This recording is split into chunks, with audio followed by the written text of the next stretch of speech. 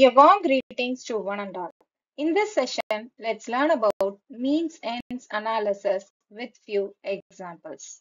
As a part of introduction in artificial intelligence, we use search strategies that move in either forward or backward direction. However, a combination of both is often more effective for solving complex and large problems. Yes, in this mixed search approach, we solve the main part of the problem first and then return to handle the smaller problems that appears while putting the major parts together. Such a technique is called means ends analysis. It is a problem solving technique that focuses on finding the difference between current state and goal state and applying the operators to reduce these differences.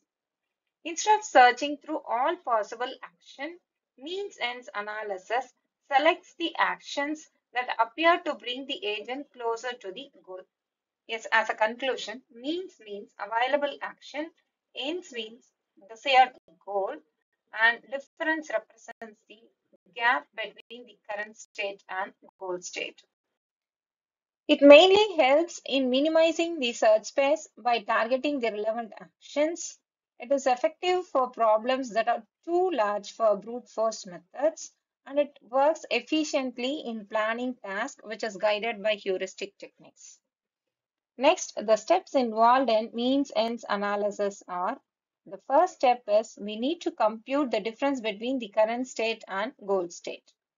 Next, we need to identify and recommend the action that can reduce the difference if precondition is satisfied. Finally, we have to check the possibility of action execution. So if it is not possible, then we need to treat the current state as goal state and we have to apply the action recursively. Now let's check out the algorithm for means ends analysis. The first step is we need to compare the current and goal state. That is, we need to check whether the current and goal state both are identical or not. If they are identical, it means that the goal is achieved and we can return success. If it is not identical, it means that there is a difference between the current state and goal state. So in second step, we need to identify the most significant difference between the current state and goal state.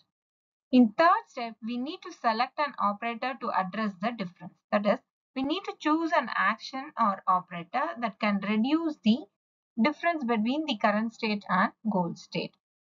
If there is no suitable operator found, then we have to return failure. In fourth step, we need to check the preconditions for the operator. That is, we need to ensure that the conditions required to apply the operator are satisfied or not. If it is not satisfied, then we need to establish a sub-goal in order to satisfy this preconditions. In fifth step, we need to apply the operator. That is, we need to execute the operator to have a transition to a new state from the current state. Finally, we need to repeat the process. That is, we need to treat the new state as a current state and we have to repeat the above states steps until we reach the goal state is reached or no further progress can be made in this. So hope you are clear in means ends analysis algorithm. Now let's have an example for means ends analysis. Let's consider the scenario that you are at home without laptop and you want to buy a laptop from a store. The current state is at home you don't have a laptop. The goal state is you need to buy a new laptop. Now let's check out the process involved in order to find the difference between the goal state and current state and how to reach the goal state. So the first step is first we need to identify the difference. Yes, the difference is you don't have a laptop, you need to buy a new laptop. So that is what the first difference. You don't have a laptop. The next step is we need to select the operator. That is, you need to decide to visit a store in order to buy a new one. So this is what the operator which we have selected in order to buy a laptop. Next, we need to check the preconditions, which means that we don't know the address of the store where to buy the laptop. So that we have to first resolve it. So in next step, we are uh, having a sub goal that is we need to obtain the store's address by calling a friend. So we are making a call to a friend and we are asking him the address of the shop where to buy a laptop. So now sub goal is over. So we know where to buy a laptop. Next, we have to apply the operator, which means that I need to go to the store.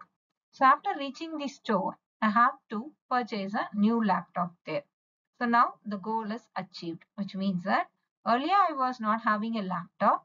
Now currently I have got a new laptop. So from current state, that is without laptop, here without laptop, this is the current state. Now I have reached the goal state, which means I have got a new laptop and I have my own laptop currently. So by breaking down the problem into manageable sub-goals and addressing each systematically, the mean ends analysis guides you from the current state to the desired goal state. So hope you're clear with this simple example. Now let's have another example for mean end analysis. In this example, we have two images. The first image represents the initial state and the second image represents the goal state. Both images have different objects inside it. Our task is to transform the initial state to goal state with step-by-step -step process. Yes, first we have to find the difference between the initial state and goal state and for each difference we need to generate a new state and apply the operators.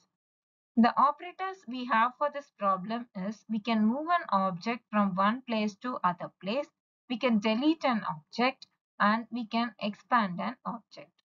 Now let's see step-by-step -step solution for this problem.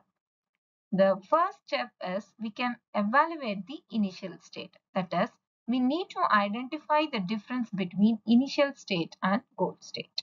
The difference is there is no small blue color circle at top right corner and there is a larger triangle in different position instead of a small triangle which is present inside the larger circle. So now we need to eliminate these differences. From step 1, we can move to step 2 by applying the delete operator. So by applying the delete operator, we have removed the small blue color circle which is available in the top right corner. Next, in step 3, we are applying move operator such that we have moved the smaller triangle which is available inside the circle to top right corner. Next, in step 4, we have applied expand operator such that we have increased the size of the triangle so that it can match with the goal state. So now we have successfully transformed this initial state to goal state using these three simple operations namely delete, move and expand. So hope you are clear in mean in analysis. That is, it is working by identifying the difference between the states and selecting the operators in order to reduce the difference between the initial state and goal state. Thank you all.